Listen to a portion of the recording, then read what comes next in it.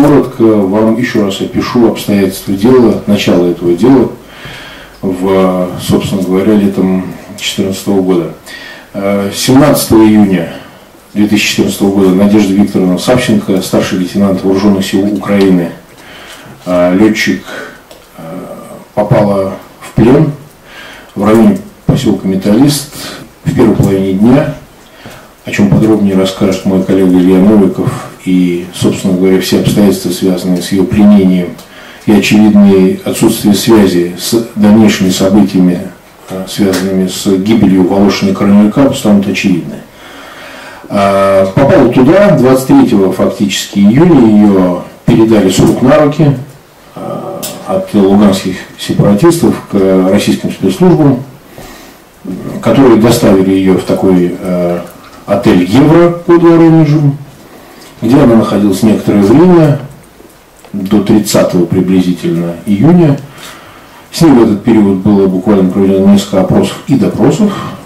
На первом же из них она заявила, что считает себя военнопленной, о чем подробнее я расскажу ниже.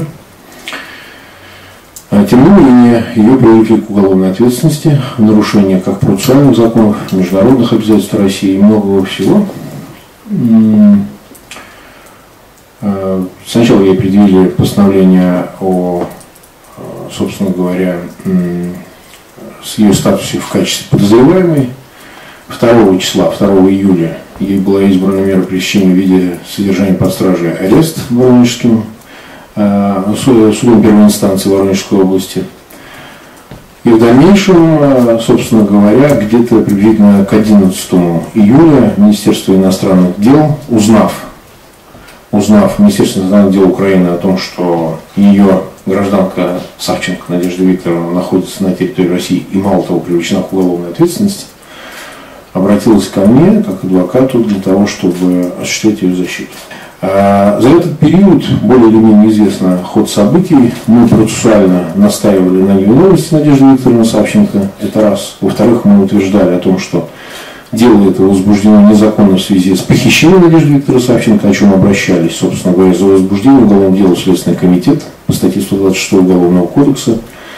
Причем нам в результате доследственной проверки на территории Воронежской области отказано было возбуждение уголовного дела. Следствие и теперь настаивает на том, что Надежда Викторовна Савченко не была похищена, а добровольно, самостоятельно пересекла границу на территорию, въехав на территорию Российской Федерации таким образом незаконно.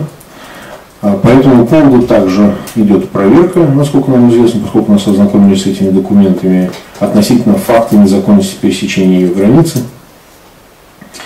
А, известно, что мы подавали огромное количество ходатайств, исчисляемых десятками. В большую часть нам было отказано, все из них мы обжаловали в суде. А, напомню также, что не менее важным была экспертиза судебно-психолого-психиатрическая, которая проводилась с Надеждой Викторовной Савченко – в результате которой, по предварительным данным, она признана все-таки вменяемой, несмотря на ряд вопросов, которые э, эксперты оставили неотвеченными, поскольку считают, что, как это указано в заключении, не располагают достаточным материалом для того, чтобы вынести обоснованное заключение по отдельным конкретным вопросам, связанным с вменяемостью инкриминацией соответствующих преступлений Надежды Викторовны Савченко. Итак, э, Надежду Викторовну Савченко обвиняют по статье 33 и статье 105 части 2 в пособничестве в убийстве двух и более лиц. Сегодня мы коснемся подробно тех материалов, которые получены нами из Украины относительно ее невиновности. Это материалы уголовного следствия, который ведет СБУ, э, Служба безопасности Украины, поскольку последственности ее находится дело о похищении Савченко – эти материалы процессуально доказывают невиновность Савченко, о чем подробно расскажет Илья Новиков, и ее делегирование в парламентскую ассамблею Совета Европы, в результате чего возникает, собственно говоря, дипломатический иммунитет у Надежды Викторовны Савченко, который освобождает ее от уголовной ответственности в России, безусловно. А статус военнопленного, который также, которым обладает Надежда Викторовна Савченко, который также является основанием для собственно говоря, освобождения от уголовной ответственности и преследования в Российской Федерации. Предоставим слово Илье Сергеевичу Новакову, моему коллеге. Я хочу вам рассказать а, вначале о том, а, как мы на сегодня, по той информации, которая у нас имеется, видим события 17 июня связаны непосредственно с гибелью российских журналистов Корнелюка и Волошина. Это рисунок, который тоже сделан в ходе следственных действий российской стороной, то есть это из российского уголовного дела фрагмент.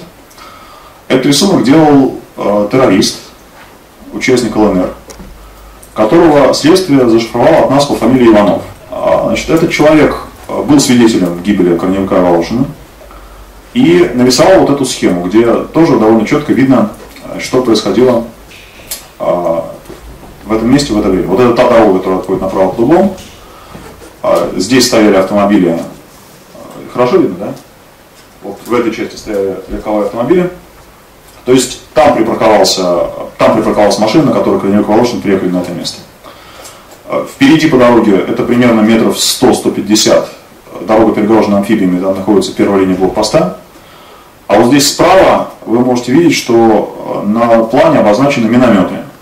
То есть там справа находилась минометная позиция ЛНР, и э, как этот же самый свидетель Иванов э, пояснил в ходе допроса, э, все эти документы мы уже оглашали в открытом заседании, и они не являются секретными в этом смысле. Мы привлекали уже к ним внимание и хотели бы вас еще раз попросить обратить на внимание. Этот человек говорит о том, что в то утро минометная батарея ЛНР вела активный огонь, у них стали кончаться боеприпасы, и он будучи на, этой батарее, являясь, э, видимо, членом расчета, или как это правильно назвать, поехал в Луганск за боеприпасами. В тот момент, когда он выезжал э, с позиции батареи на дорогу, он увидел корреспондента, человека с камерой, он тогда еще не понимал, что это корреспондент. Он увидел человека с камерой, который стоял в опасном месте. Э, он высунулся из машины, крикнул ему «Уходите!». В этот момент начался обстрел, и человек погиб. Этот человек, как мы сейчас понимаем, видимо, был Антон Волошин, а, которого накрыло прямым попаданием мины и э, останки которого были опознаны впоследствии путем проведения экспертизы ДНК. Другой мужчина был ранен, этот э, мужчина был э, Игорь Корнелюк, его доставили в больницу в Луганске, там скончался через несколько часов от полученных повреждений. А, из того, что значимо в этом протоколе допроса, я прошу вас обратить внимание на то, что вот этот человек это свидетель следствия, это не тот, кого мы нашли. Это э, человек, на чьи позиции, на чьих словах российское следствие основывает свое утверждение о том, что Савченко причастна к гибели журналистов. Он прямо говорит о том, что э, на журналистах была обычная гражданская одежда, надписи телевидения или ТВ на их одежде не было. Что они были без касок и без бронежилетов. А, ну и информация про эту минометную батарею и что она там делала рядом с этим блокпостом, мне тоже кажется исключительно интересной с точки зрения того тезиса, который продвигает российское следствие о том, что а, журналисты находились в мирной обстановке и что их обстреляли сознательно именно как журналистов, чтобы убить их а, и воспрепятствовать их работе в качестве представителей СМИ. Мы видим, что это была боевая позиция, и там велся активный бой, и минометы стреляли. А, вот такая была обстановка. Значит, теперь о том, что в чем обвиняют Надежду Савченко. Надежду Савченко обвиняют в том, что э, это она была тем человеком, который, увидев российских журналистов, поняв, что это журналисты, по мотивам ненависти и желая воспрепятствовать их профессиональной деятельности как журналистов, позвонила э, неустановленным лицам из числа э, руководителей батальона «Айдар» и Э, тем самым поспособствовал представлению сведений э, их э, журналистов убийству. Почему мы сегодня просили вас здесь собраться, и почему мы считаем, что информация, которая получена нами в последнее время, полностью опровергает эту версию следствия. Вот в этой точке, возле гольф-клуба, было боестолкновение. Рано утром, это могло быть 5 или 6 часов утра, точное время не установили, но это несущественно, поскольку все основные события происходили после 9 часов утра. А, и силы батальона Айдар стали выдвигаться в направлении вот этого гольф-клуба. А, до 8 часов продолжалось боестолкновение, 8 часов контакт был первым. А, Айдар отошел назад, те бойцы ЛНР, которые их обстреливали, тоже, видимо, отошли. И к этому моменту относится эпизод с гольф-клубом, когда поскольку у Айдара не было ни своей бронетехники, ни своей артиллерии, в этом районе присутствовали другие подразделения вооруженных сил Украины, именно войсковые армейские подразделения, это были 79-я и 80-я аэромобильные бригады. Там было некоторое количество бронетехники, танк и два бронетранспортера. И э, группу бойцов батальона Айдак, который присоединился Надежда Савченко, направили на осмотр вот этого гольф-клуба, вот это все территория гольф-клуба. Вот эти характерные пруды. На осмотр территории вот сюда. В здание гольф-клуба они приехали, осмотрели, поняли, что противника там нет, доложили об этом. Это все было незадолго до 9 часов утра. Что происходит дальше? А, танк, на котором ехала Надежда Савченко, выезжает по вот этой дороге со стороны гольф-клуба. Здесь она с него саживается, на перекрестке трассы и дорожки, которая ведет на гольф-клуб. А, танк поехал дальше, то есть танк поехал вперед в направлении Луганска. На этом танке ехал боец а, батальона Айдар, которого зовут Тарас Синьговский, который дал нам а, пояснение, согласился э, дать нам информацию о том, что Надежда Савченко в последний раз видела вот в этот момент, когда она слезала с танком вот в этом месте. Буквально через несколько сот метров танк и БТР, которые ехали э, вот этой группой, попали в засаду. Это было приблизительно, приблизительно вот здесь, то есть это было в районе поселка, который называется Стукалова Балка. Вот он отмечен на карте. А вот, вот это вот поселок Стукалова Балка. Они попали в засаду. Были подбиты, а, какое-то количество бойцов погибло, кто-то был ранен. И Надежда Савченко решилась э, выдвинуться вперед, посмотреть, нельзя ли чем-то помочь тем людям, которые попали в засаду.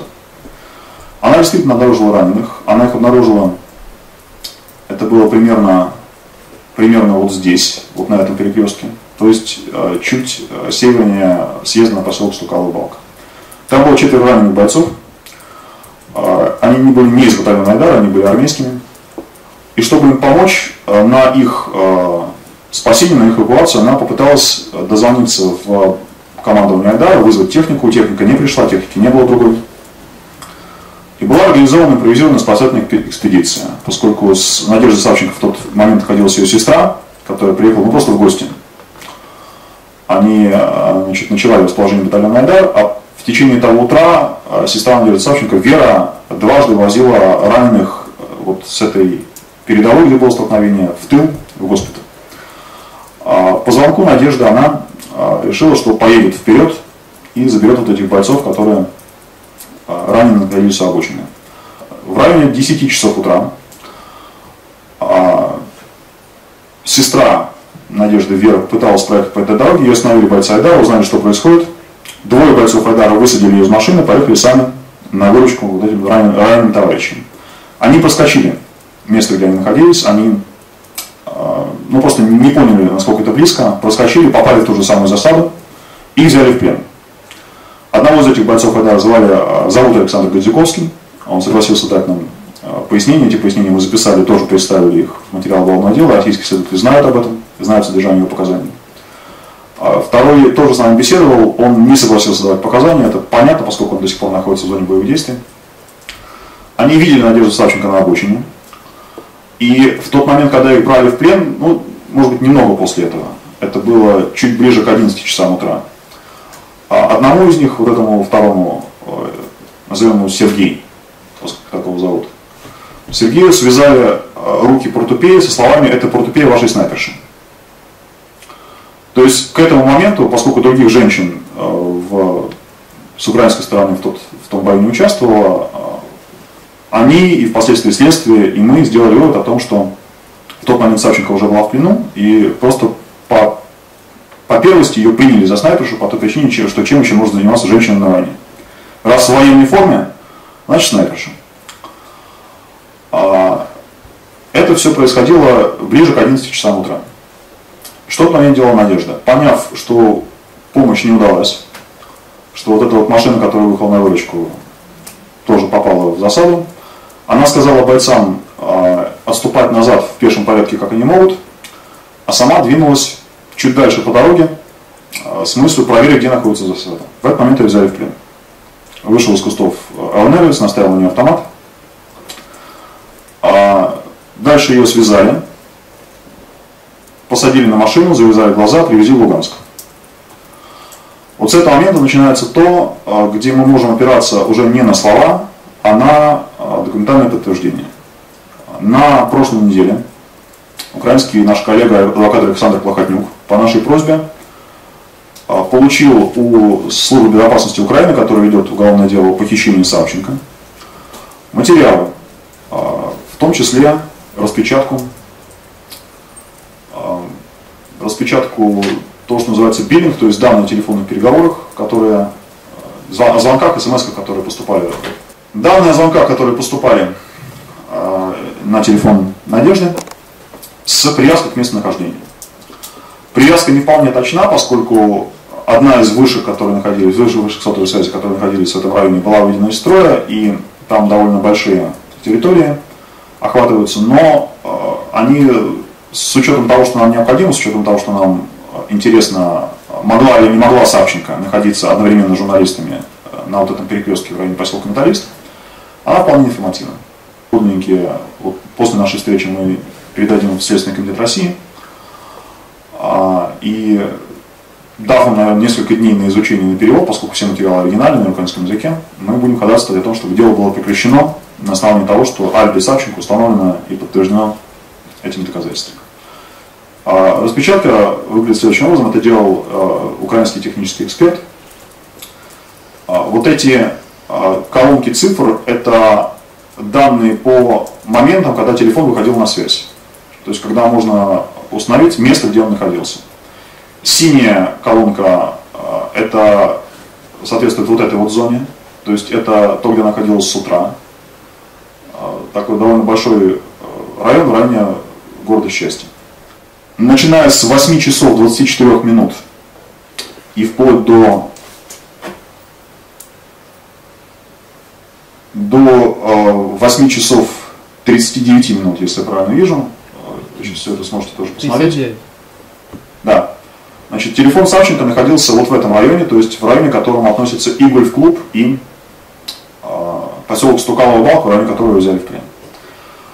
Э, начиная с 10 часов 43 минут, телефон фиксируется вот здесь, в центре Луганска. Это промежуточная точка, там буквально два подключения, ее просто везли по дороге в этом месте, там где красный кружок. И начиная с 11.40 по-моему, четырех. Давайте все цифры сейчас, э, просто вы, э, я сейчас закончу показывать карту, и вам подаете и посмотрите все это сами. А дальше, начиная с какого-то момента, ее телефон стабильно в течение длительного периода времени э, выходит на связь с той точки, где находится областной военкомат Луганской области, то есть база батальона «Заря», которая, собственно, взяла ее в плен. В этом месте она содержалась в плену до 23 числа. Что в это время было журналистами? Это данные с телефонной э, трубки э, Антона Волошина, э, где видно, что с утра он находился в том районе, где у них гостиница, а чуть позже его телефон выходил из вот этого большого района, к которому относится такой район Луганска, Каменный Брод, и отчасти поселок Металлист. Металлист начинается вот здесь, в самом-самом верхнем углу, там, где кончается зона этого района. Телефон Волошина не информативен, информативен телефон Корнелюка. Вот телефон Корнелюка. Значит, из этого телефона видно, что рано утром они, а, Игорь Корнелюк и его телефон находились а, в том районе, где у них гостиница, в районе отеля Луганск. А откуда они уехали а, не раньше, чем в 10 часов 26 минут. Это последняя дата фиксации вот на этом красном на этом э, зеленом отрезке. А, впоследствии телефон выходит на связь э, вот этом тоже большом районе, Камброд это называется в Луганске, и металлист. И начиная с 12 часов 20 минут он выходит на связь вот здесь уже южнее, его повезли в больницу. И последнее подключение, это еще южнее, городская больница, областная больница, где он скончался. Таким образом, мы видим, что а, при том, что у нас есть еще информация э, из иных источников, она сейчас украинские оперативники работают над тем, чтобы подтвердить, что а, вот эта съемочная группа, в которую входили трое людей, помимо Антона Волошина и Игоря Корнелюка, в нее входил еще оператор Виктор Денисов, который остался в живых, который дает показания. А, он, его показания совершенно точно имеются в уголовном деле, которое ведется в России. Мы их пока не видели, поскольку мы их увидим только после того, как следствие будет завершено. А следствие их не показывает, но мы примерно понимаем, что там будет находиться, потому что он давал интервью, рассказывал о том, что происходило. И еще один человек, который сопровождал, это таксист из Луганска. Его э, имя и фамилия также известны украинским спецслужбам, они, в общем, нашли его концы, его следы который также сразу после этих событий э, давал интервью журналистам, которые спрашивали у него, что произошло, он рассказывал, что произошло, как они приехали на место а, вот этого происшествия на перекресток у металлиста, как спустя несколько минут журналисты попали под обстрел. И э, из той информации, которую дают эти люди, вытекает, что тем утром, когда они покинули вот этот район центральный, где у них был отель, и поехали на север, они э, не поехали сразу на перекресток металлиста, а сперва заезжали в другое место, э, вот на этой северной окраине Луганска, где э, хотели снять какой-то еще свой сюжет, и только оттуда поехали на перекресток металлиста. Собственно, почему они находились там без касок и без бронежилетов, поскольку они полагали, что будут там ненадолго, вот, приедут, снимут и уедут, что да, сейчас заканчиваем, что они находятся в относительной безопасности. Э, буквально через несколько минут, когда они там появились, их накрыл обстрел. То есть, э, на то, чтобы приехать из центра Луганска и попасть под обстрел, у э, Волошина и Корнелюка было примерно 10 минут если считать назад от того момента, когда телефон Савченко фиксируется в центре Луганска, когда он может достоверно был в Мы понимаем, что это время на самом деле зазор больше и в обратную сторону, что там было примерно час, потому что в плен взяли где-то в районе половины 11 по киевскому времени, обстрел произошел в районе половины 12 по киевскому времени, а, и таким образом ее алиби вот даже с этими большими зазорами да, выглядит вполне достоверным и проверяемым.